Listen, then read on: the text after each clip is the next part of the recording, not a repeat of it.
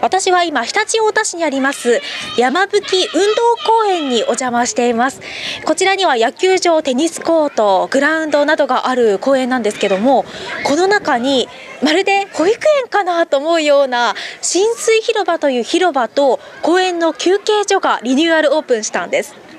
なんとこのリニューアルオープンした場所はですねあのー常陸太田市といえば子育てというのがすごく熱心なイメージがあるんですが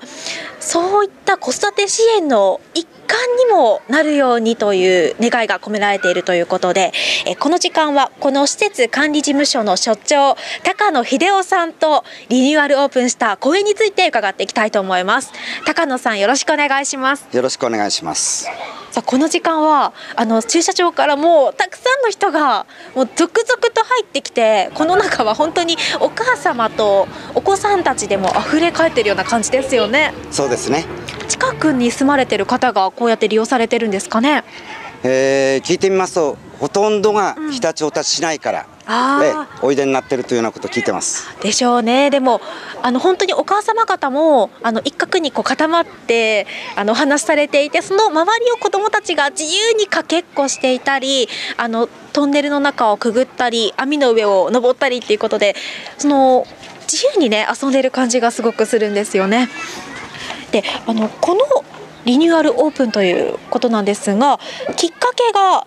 東日本大震災だったそうですね。はい、えー、今あるところにはあの幼児プールと、うん、それから25メータープールと50メータープールがあったんですけれどもそれが被災しちゃったということで跡地に、えー、それではどうしようかというようなことで、うん、この遊具とか噴水とかというもので、えー、考えて、えー、作ったというようなことなんです。はい、どうですか？皆さんのこう様子というのはどんな感じに受け止められますか？そうですね、えー、まだの浸水広場の方は、えー、夏場ということで考えておりますけども幼児が水に触れたり水遊びができる噴水施設の整備とそれからこの遊具大型遊具ということで、うん、えー、オールシーズンで子どもたちが利用で利用できるような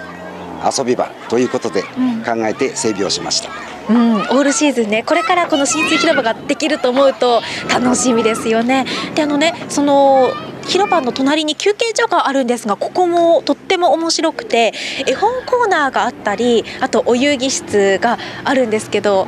お母さんたちがねさっきゆっくり入ってあの本を読んでいたんですけどそして子どもたちを遊ばせつつ自分たちの時間も確保できるって感じになりそうですね。そうですねねでさっきねお父様と女の子で一緒に来ていたんですがお父様に話伺ったらいやあの子供子にねせかされて早く行こうよなんて言われるもんだから仕事が手につかないんだよなんていう声もありました。嬉しいですよね。嬉しいですね、えー、本当にあのお父さんお母さんよりもなんかおじいちゃんおばあちゃんとも一緒に来てるようで、たくさんの方に利用していただきたいと思います。はい、じゃあ今後もそうして市民の皆さんの交流の場にもなってほしいみたいなそういう願いがあるということですね。そうですね。はい、高野さんありがとうございました。ありがとうございました。ということでこの時間山吹運動公園から、えー、事務所所長の高野秀夫さんにこのリニューアルした浸水公園についてお話を伺いました以上藤井がお伝えしました